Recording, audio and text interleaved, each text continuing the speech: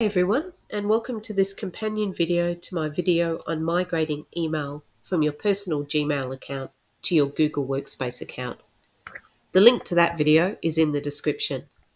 This video is especially relevant if you've been using a gmail.com email address for a while to run your business, and so clients might keep using it for a while even after you create a custom domain email address.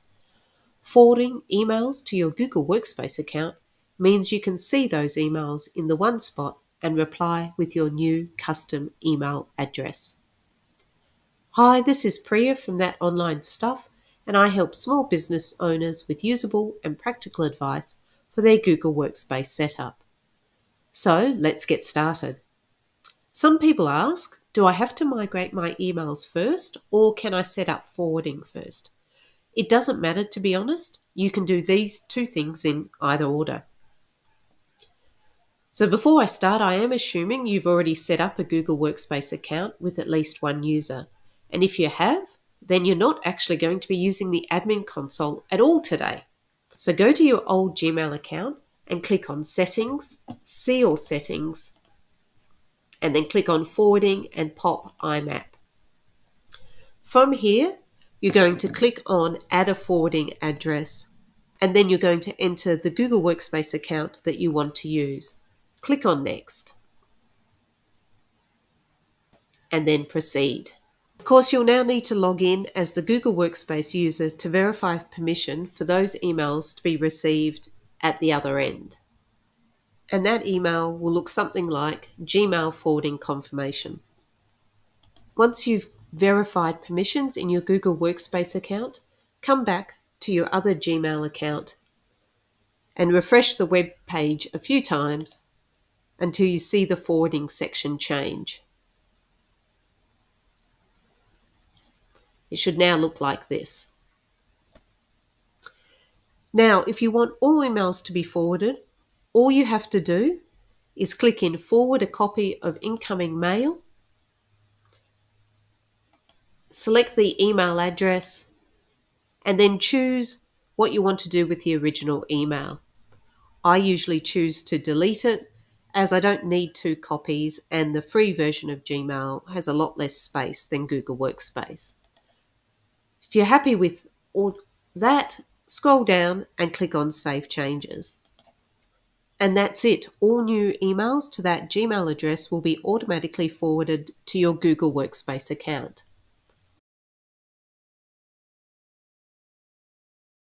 As you can see here, an email that was sent to the gmail.com account has been automatically forwarded to the Google account.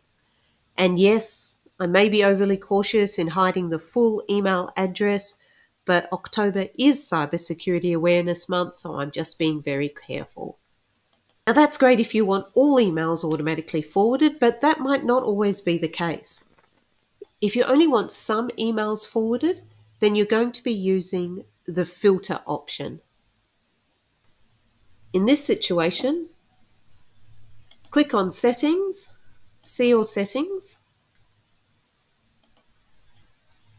Here, disable forwarding and save changes so, so it doesn't automatically forward emails now. Click on Show Search Options and then choose what you want to do here. So, for example, you might want only want emails from certain senders or with certain keywords or even of a certain size forwarded to the new account.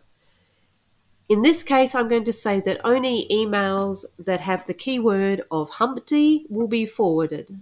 I'll create the filter and then click on forward it and my ad forwarding address. Then you can also choose what to do with the incoming email to a more nuanced degree than the general forwarding option. Do you want to label it, archive it, delete it, etc.? I'm going to label it with another label and then I'm going to mark it as read and archive it. And now I'm going to click on create filter.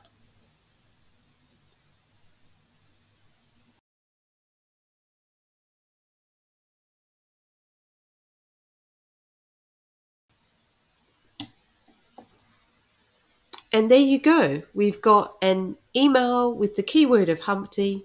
It's turned up in my old Gmail account with the label of uh, another label. And if I go to my Google Workspace account, I can see that it's also arrived here with the keyword of Humpty.